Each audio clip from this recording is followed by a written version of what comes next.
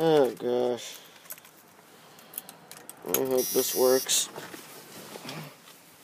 It's out of gas, so highly doubt it will.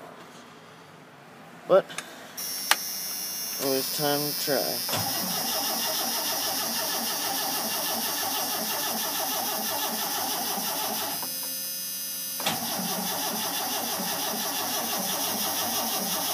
Work! Ah, give it up. Oh yeah.